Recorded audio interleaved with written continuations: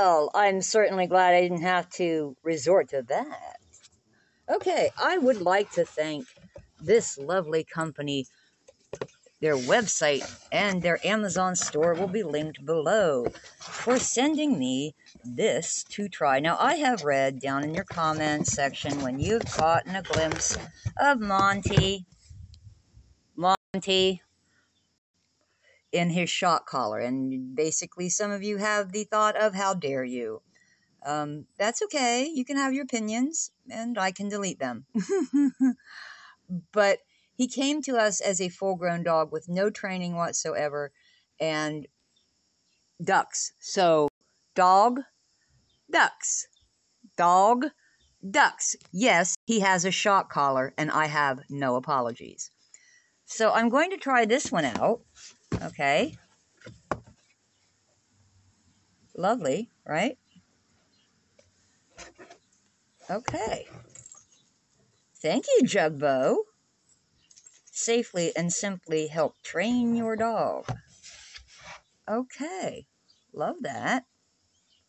Now I'm going to take a few stills as I open the package and also give some narration directly from their website. Once again, thank you. Now, as we look through the package, first of all, is this not adorable? Love this, right?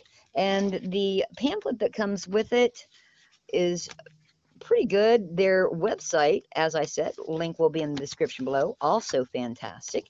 Now, there is a QR code and there is a lifetime warranty and video guide that you can also get. You can register the product with a warranty and you can also watch the video guide. And that's it. And if you have any questions, you can always contact service at jugbow.com.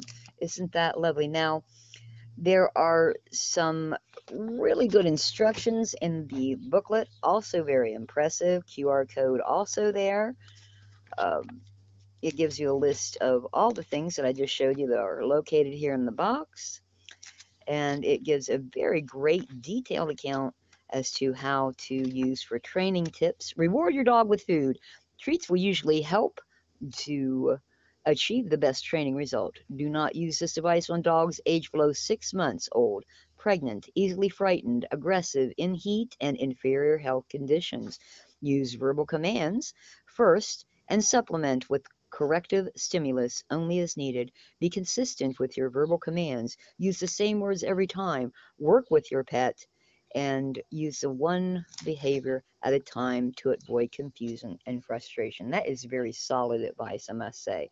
So thanks again for joining me. I am your ever faithful Granny Monster. Peace out. Deuces.